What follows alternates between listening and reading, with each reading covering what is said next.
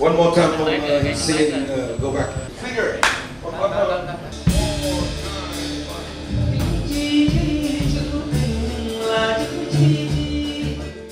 Trần Mạnh Tuấn và nhạc sĩ Nguyên Lê cũng như các thành viên trong ờ, ban nhạc chúng tôi đã có thời gian chuẩn bị cũng khá là lâu rồi. Hôm nay là cái buổi đầu tiên chúng tôi kết hợp với nhau và nói đây là cũng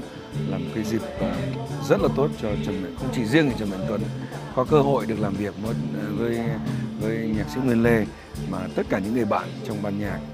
à, đều có một cái cơ hội để chia sẻ và học hỏi từ nhạc sĩ Nguyên Lê.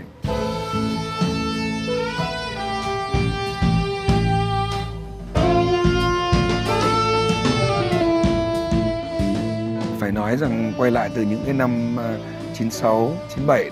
anh Nguyên Lê đối với tôi là một thần tượng. Để lúc đó thì chúng tôi rất là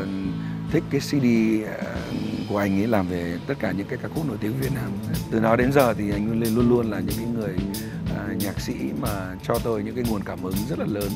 khi tôi viết nhạc cũng như là khi chúng tôi chơi nhạc.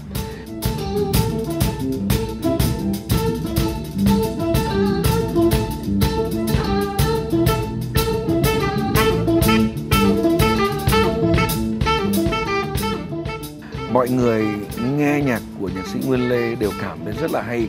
nhưng mọi người không thể tưởng tượng được với cái cái cái cái cách suy nghĩ, cái cách viết bài cũng như cái cách hòa âm của nhạc sĩ Nguyên Lê phải nói ở một cái đẳng cấp rất là cao. Trần Tuấn là người cũng là người va chạm với rất nhiều những cái nhóm nhạc cũng như là tất cả cái các ban nhạc, rất nhiều ban nhạc trên thế giới. Nhưng phải nói khi làm việc, thực sự làm việc với nhạc sĩ Nguyên Lê, với những tác phẩm của nhạc sĩ Nguyên Lê thì Trần Tuấn học được rất nhiều từ cái cách nghĩ, cái cái cách viết cũng như cái cách hòa âm.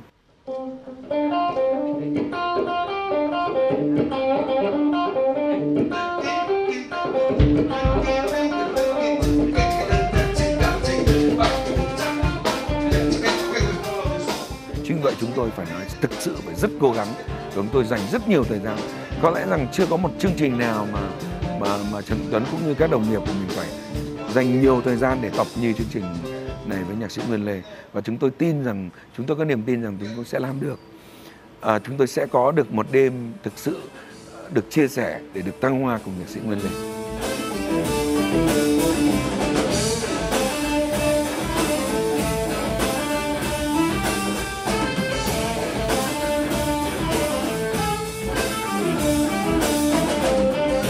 Trước đến nay mọi người đều biết đến nhạc sĩ Nguyên Lê là một nhạc sĩ đi đầu trong cái, cái, cái phong cách ờ, đưa âm nhạc ờ, bản địa, ờ, âm nhạc dân gian bản địa vào thành jazz fusion. Cũng như ở trong nước thì Trần Mạnh Tuấn cũng là người cũng làm công việc này cũng rất là sớm. Thì chúng tôi kết hợp và làm một đêm nhạc và chúng tôi đặt tên là Ấm hưởng phương Đông.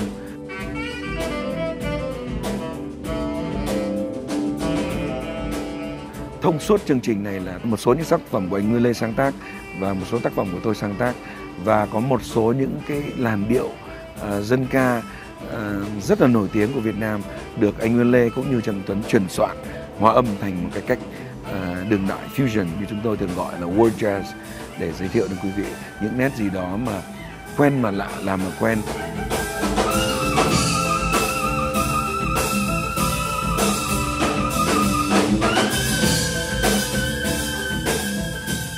Trần Tuấn không muốn rằng chỉ có những buổi biểu diễn của nhạc sĩ Nguyên Lê ở tại Việt Nam mà chúng tôi sẽ sắp tới chúng tôi sẽ có những nhiều những dịp có thể mời nhạc sĩ Nguyên Lê về đây những cái buổi trao đổi những cái buổi anh chia sẻ và anh có thể giảng dạy ở ở, ở tại Việt Nam à, tại Hà Nội cũng như tại thành phố Hồ Chí Minh.